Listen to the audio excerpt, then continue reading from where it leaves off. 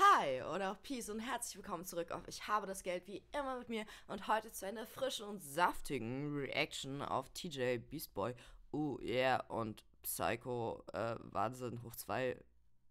Also ich glaube Psycho und Wahnsinn hoch 2 ist der zweite Titel. I don't know. Ähm, ich bin gespannt. Ich habe auf jeden Fall tiefe tiefe Augenringe, obwohl ich irgendwie elf Stunden gepennt habe, aber vielleicht habe ich mich auch einfach nur überschlafen. Es ist auf jeden Fall noch früh. Ich mache das jetzt hier noch fix vor Arbeit. Also nicht wundern, warum ich aussehe, wie.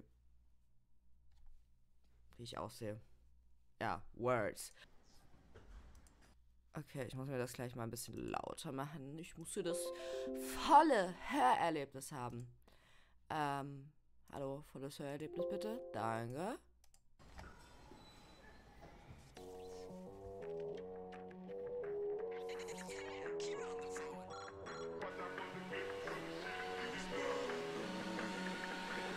Ich verliere mich in den Wahnsinn. Ich tick schon wieder aus, all die Stimmen sind so laut, lass mich fallen in den Wahnsinn. Ich flipp schon wieder aus, siehst du niemand, der mich auf. Boah, ich finde es auf jeden Fall bis jetzt sehr cool. Ich kann jetzt nicht so viel dazu sagen, wie ähnlich es zu seinen Sachen ist, die er jetzt sonst so macht, weil ich weiß nicht, ich höre halt äh, actually kein TJ Beast Boy. Bitte ähm, hatet mich dafür jetzt nicht, weil ich euren Favorite Artist nicht höre oder so, wenn ihr das seht. Ähm, aber bis jetzt finde ich auf jeden Fall sehr smooth. Ich glaube, das kann man sich auch, also es ist auch so ein Song, der einfach fix ins Ohr geht, den man schnell mitsingen kann. Gut für Turn-Up. Auf Konzerten wahrscheinlich auch gut für Moshpit, obwohl ich nicht weiß, ob es bei TJ Beast Boy Konzerten Moshpits gibt. Ich war einmal bei dieser Shockwave-Tour damals und och, Dicker, wir haben probiert, zu fünften Moshpit zu starten und die ganzen 14-Jährigen haben uns blöd angeglotzt nach dem Motto: Was ist das? Was soll das? Lasst uns. Wir wollen hier irgendwie unsere Idole sexualisiert ankreischen. War auf jeden Fall keine schöne Erfahrung. Also war an sich ein cooles Konzert, so war auch nice, aber keine Ahnung, diese ganzen übertriebenen Fan-Kiddies, die Schreianfälle bekommen haben, allein weil irgendwie Luna oben so, so da oben war halt so ein, so ein Ding, so ein Aufenthaltsding und Luna ist da so lang gelaufen und die haben die so hart angeschrien. Ich dachte mir so, Bro, Leute, reißt euch. Es ist einfach nur eine Frau. Fuck, Alter. Aber ja, ähm, vielleicht gibt es heutzutage bei TJ Beast bei Konzerten Moshpits. Vielleicht auch immer noch nicht. Vielleicht sind da immer noch nur schreiende Fankiddies. I don't know.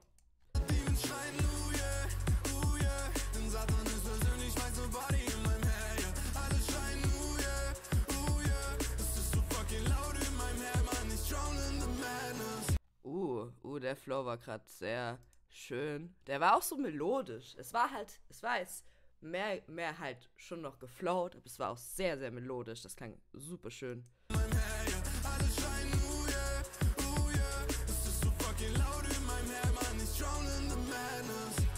Boah, voll geil. Uh, das sieht auf jeden Fall auch sick aus.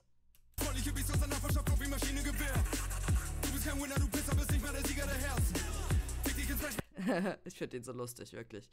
Also auch wenn ich ihn gar nicht mehr verfolge, so ist es jedes Mal irgendwie sweet, auf was zu reacten, so, weil keine Ahnung. So, dieser Mann begleitet ja wahrscheinlich auch viele Leute, die so in meinem Alter sind, schon seit Jahren. So, I don't know, wer nicht damals irgendwie What the Fact und sowas äh, geschaut hat und damit irgendwie aufgewachsen ist. Also gibt's auch, aber das glaube ich bei vielen Leuten in meinem Alter, dass das alles irgendwie schon so, ein, so eine jahrelange Sache ist mit diesem Mann. Und dann Dead Adam. Ach, Digga, Dead Adam war unglaublich cool. Also das war wirklich unglaublich fucking cool.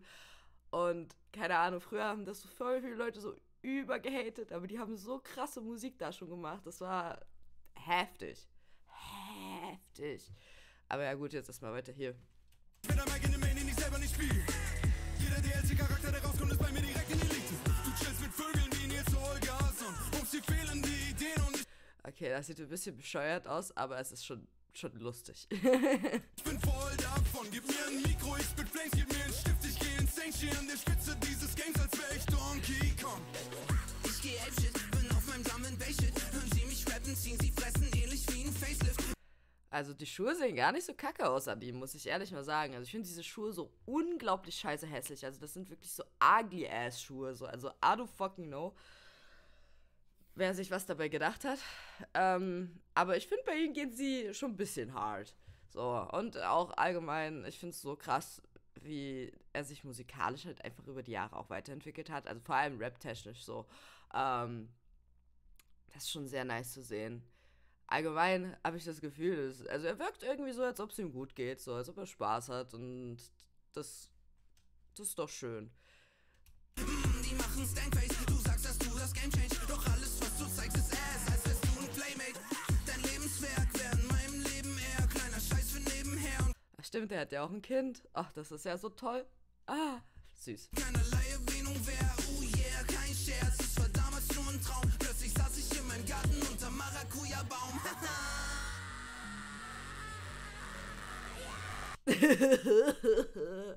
iconic, iconic. Ah, nee, iconic. Ich verliere mich in den Wahnsinn. Verliere mich in den Wahnsinn. Ich verlange Uh, uh, nochmal ein Umswitch. Oh, das ist bei ihm auch immer so interessant. So, du weißt erstmal überhaupt nicht, worauf du dich einlässt. Also, keine Ahnung, es ist nie. Also, zumindest so die Sachen, die ich immer react habe, es ist meistens kein, kein ganzer Song, sondern er hat so voll viele Umswitches und das macht das Hörerlebnis halt super interessant und ich finde das super cool, so weil, keine Ahnung, ich hätte jetzt einfach damit gerechnet, dass jetzt hier einfach nochmal hoch vom Anfang kommt, aber dass er jetzt halt nochmal so einen, so einen kompletten Umswitch hat, ist schon sehr geil und sehr geile Schuhe.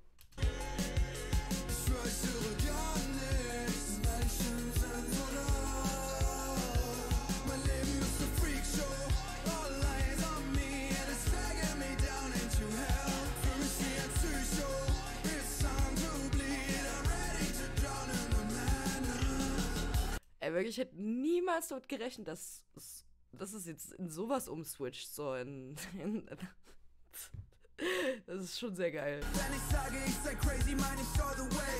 Manchmal bin ich nicht ich selber, so wie Norman Bates. Manchmal halte ich mich bedeckt hinter meinem Pokerface. Kämpfe mit den Tränen und sage schon okay. Manchmal habe ich ein großes Maul wie ein Kettenhund. Guck mich aus wie im Märchenbuch ohne Pause und lerne dazu. Manchmal gebe ich es Saddle, wenn ich struggle. Manchmal platze ich, manchmal hänge ich tagelang im fucking Tunnel. Manchmal bin ich die Lösung und manchmal bin ich das Problem. Manchmal denke ich Dinge, die will ich in Lyrics nicht erzählen. Manchmal will ich die Welt beherrschen wie Pinky and the Brain. Und an anderen Tagen sitze ich da und finde alles lame. Bin ich fest oder verflucht, steck ich fest. Was hat der Arm? Hat er irgendwas? Oder ist das Drip? Ich schätze, es ist kein Drip. Aber was ist, was hat der?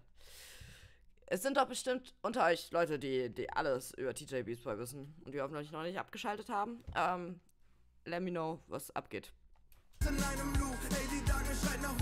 Okay, nein, das ist keine Fashion. ähm, was hat der? Ist alles cool? Aber ich finde es auf jeden Fall cool, dass er das so embrace und nochmal zeigt. So. Also, was auch immer er hat, so auf jeden Fall gute Besserung. I don't know. Ich weiß es ja nicht. Ähm, aber auf jeden Fall cool, dass er das so zeigt. Weil ich glaube, viele Leute haben auch zu strugglen damit, wenn sie irgendwas haben, so Krankheit technisch und vielleicht sowas tragen müssen, sich damit irgendwie zu zeigen, das anderen zu zeigen. So. Deswegen ist schon cool, wenn da so ein großes Vorbild, was er ja ist, er ist ja, hat ja echt riesen Reichweite, da irgendwie sich einfach so zeigt und zeigt so, yo, That's alright, that's okay. So, I'm alright with, with that.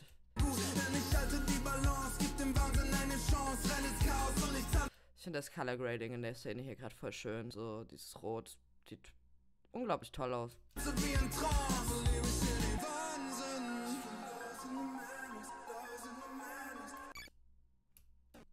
War auf jeden Fall voll die geilen Songs. Das sind ja jetzt zwei Songs, I guess. Ähm, dann hätte ich vielleicht auch mit einem Umswitch rechnen können. Schlau. Äh, nee, aber fand ich auf jeden Fall sehr, sehr cool, ähm, dass man so, so, man hat erstmal hier so diesen übelst catchy Part, dann halt so voll durchgerappt, durchgeflowt, wo René ein Meister ist und dann halt am Ende nochmal so dieses total melodische, den melodischen Gesang. Ähm, ja, finde ich auf jeden Fall nice. Das äh, würde ich mir auf jeden Fall nochmal anhören, denke ich. Video war auf jeden Fall auch sweet. So, ich fand äh, die ganzen Outfits sehr geil. So, die ganzen Effekte waren auch ziemlich lustig. Und das, die Szene fand ich irgendwie, die fand ich irgendwie besonders funny. So, und ja, also alles in allem, sehr geile Sache, hat mir gut gefallen. Mm, ich glaube, ich habe jetzt auch noch nie irgendwas von ihm gesehen und ich gesagt, so, nee, das ist to Todesass. Also ich höre es halt einfach nur nicht so was. Keine Ahnung, ist halt irgendwie nicht so, so ganz, ganz meine Musik im Moment. Vielleicht habe ich irgendwann mal wieder eine TJ Beast Boy Phase, man weiß es ja nicht. Aber ja, enttäuschen tut er nicht. Und damit würde ich sagen, was ist mit diesem Video? Lasst mir gerne eure Meinung zu dem Song, den Songs, äh, TJ Beast Boy, mir, whatever in den Kommentaren. Schreibt mir auf jeden Fall auch gerne, was äh, mit dem Beastie Boy los ist, was für eine, was für ein Dings, was, was da abgeht, äh, ob es ihm gut geht. Und ja, lasst gerne ein Like und ein Abo da, wenn euch das Video gefallen hat. Und dann sehen wir uns hoffentlich in einem meiner nächsten Videos. Bis dahin aber ciao!